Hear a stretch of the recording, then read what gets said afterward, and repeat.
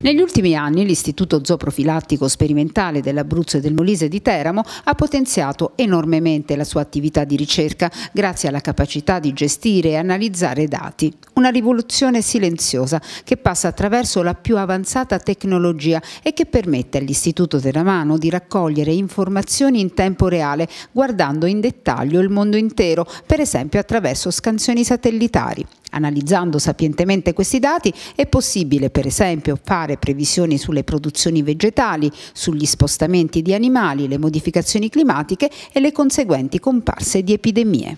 Quanto è importante l'innovazione di Big Data per l'IZS? È fondamentale, gestisce un numero crescente di numeri, di dati, di informazioni e analizzarli e gestirli è oggi possibile con le nuove tecnologie di intelligenza artificiale eccetera eccetera.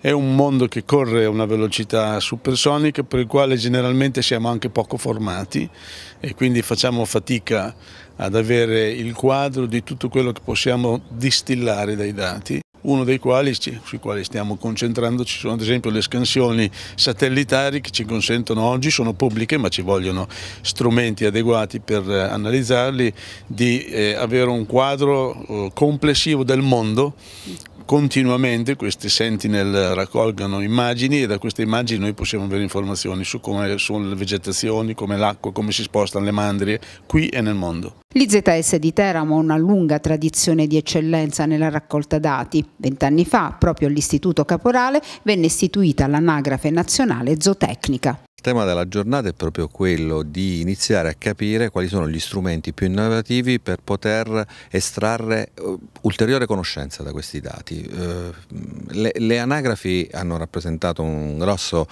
uh, diciamo una grossa attività per l'istituto e nel corso di questi anni abbiamo appunto raccolto dati su tutte le specie zootecniche, bovini, ovini.